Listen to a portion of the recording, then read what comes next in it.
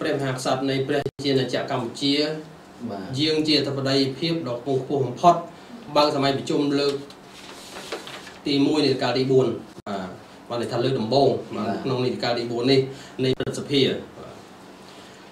នៅព្រឹកថ្ងៃ23ខែមេសាឆ្នាំ2018នៅវិមានព្រឹទ្ធសភាព្រះករុណាព្រះបាទសម្ដេច ព្រះបរមរាជនរោត្តមសីហមុនីព្រះមហាក្សត្រនៃព្រះរាជាណាចក្រកម្ពុជាស្ដេចទ្រង់យាងបើកសម័យប្រជុំដំបូងនីតិកាលទី4នៃព្រឹទ្ធសភាក្នុងសម័យប្រជុំលើកដំបូងនីតិកាលទី4នេះ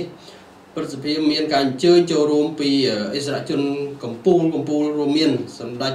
វិបុលសេនាភក្តីសាយឈុំប្រធានព្រឹទ្ធសភាសម្ដេចពញាចក្រីហេងសំរិន ប្រធានរដ្ឋសភាសម្ដេចកលាហោមសខេងរដ្ឋមន្ត្រីក្រសួងមហាផ្ទៃព្រមទាំងមន្ត្រីជាន់ខ្ពស់និងអង្គទូតនានាផងដែរកម្មវិធីបើកសម័យប្រជុំលើកដំបូងព្រឹទ្ធសភានេះបន្ទាប់ពីបានគោរពភ្លេងជាតិនៃប្រជាណាចក្រកម្ពុជាប្រកាសណាព្រះបាទសម្ដេចព្រះបរមនាថនរោត្តមសីហមុនីព្រះមហាក្សត្រនៃព្រះរាជាណាចក្រកម្ពុជា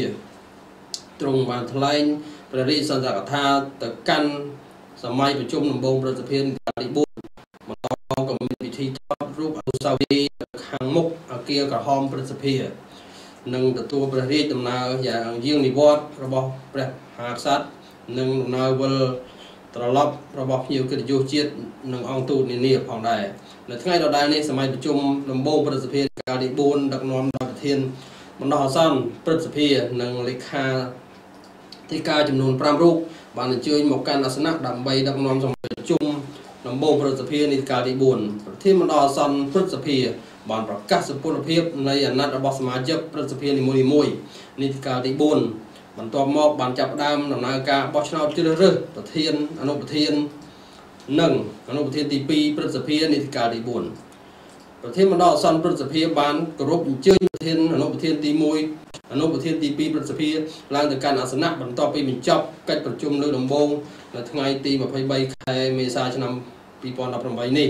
បាទក្រោយពីការបោះឆ្នោតបាទជ្រើសរើសរួចរាល់អគ្គលេខាធិការព្រឹទ្ធសភាបានប្រកាសអំពីសមាភិបថ្នាក់ដឹកនាំនិង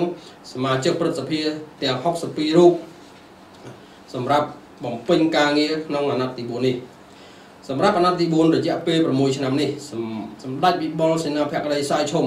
នៅតែបន្តជាប់ឆ្នោតជា ប្រធានព្រឹទ្ធសភាគណៈដែលឯកឧត្តមនៃពេលណាជាអនុប្រធានទី1និងឯកឧត្តមទេពងនជាអនុប្រធានទី2នៃព្រឹទ្ធសភាក្នុងពេលនោះសម្ដេចវិបុលសេនាភក្តីសាយឈុំប្រធានប្រសិទ្ធិជាប់ឆ្នោតថ្មីនីតិកាលទី4បានថ្លែងសន្ទរកថាអរគុណទៅដល់កងអង្គប្រសិទ្ធិនិងបញ្ចប់កិច្ចប្រជុំលើកដំបូងផងដែរ នៅពេលរសៀលនេះផងដែរវេលាម៉ោង15នាទីនៅសូនសូននាទីសមាជិកសមាជិកាប្រសិទ្ធិយើងអញ្ជើញមកដល់អគារក្រហមប្រសិទ្ធិនិងអនុប្រធានទី1អនុប្រធានទី2ប្រសិទ្ធិអញ្ជើញមកដល់អគារក្រហមប្រសិទ្ធិអញ្ជើញមកដល់អគារក្រហមប្រសិទ្ធិថ្នាក់ដឹកនាំនិងសមាជិកសមាជិកាប្រសិទ្ធិអញ្ជើញចេញដំណើរពីអគារក្រហមប្រសិទ្ធិឆ្ពោះទៅកាន់បរមព្រះរាជវាំងដែរ អញ្ជើញមកដល់ព្រះរាជវាំងអគ្គលេខាធិការប្រសិទ្ធិប្រកាសពីសមាជិកប្រសិទ្ធិសម្រាប់អាណត្តិទី4បាទបាទនេះគឺការ